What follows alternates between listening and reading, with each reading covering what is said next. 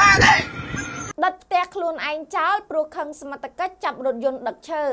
ឡាយឆៃងីមទ្វារមូលយើងខ្ញុំមានផ្គត់ផ្គង់ទ្វារមូលដៃអ៊ីណុកញោម ទ្វាររូតទ្វារសុវត្ថិភាព និងប្រអប់សង្កសីមានម៉ូទ័រទ្វារមូល និងម៉ូទ័រទ្វារបងសម្រាប់ព័ត៌មានបន្ថែមសូមទំនាក់ទំនងប្រព័ន្ធ011និង069 220 108បុរសម្នាក់ឈ្មោះឡាញ់ម៉ាប់បានដុតផ្ទះខ្លួនឯងចោលព្រោះខឹងសមត្ថកិច្ចខាត់រថយន្តរបស់គាត់ដែលជួលមកដឹកឈើខុសច្បាប់ហេតុការណ៍នេះបានកើតឡើងកាលពីវេលាម៉ោងប្រមាណ9ព្រឹកថ្ងៃទី27ខែឧសភាឆ្នាំ2022នេះនៅចំណុចភូមិរុងរឿងឃុំទឹកក្រហម ស្រុកជាំខ្សានខេត្តព្រះវិហារ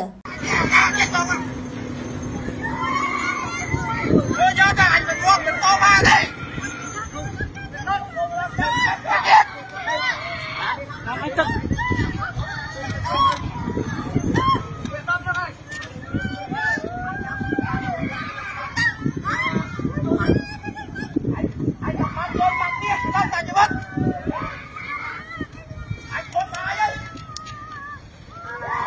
តែដល់ដបូលបាត់ហើយណាមកមិនទាន់ទេឆេះអស់ហើយតែនេះអឺទ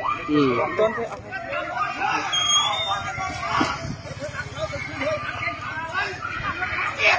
នេះពួកខាងអស់លោកនេះពួកមកគាត់ទៅហើយ ឡាយឆៃងីមទ្វារមូលយើងខ្ញុំមានផ្គត់ផ្គង់ទ្វារមូលដៃអ៊ីណុកញោមទ្វាររូតទ្វារសុវត្ថិភាព និងប្រអប់សង្កសីមានម៉ូទ័រទ្វារមូល និងម៉ូទ័រទ្វារបង សម្រាប់ព័ត៌មានបន្ថែមសូមទំនាក់ទំនងប្រព័ន្ធ011និង069 220 108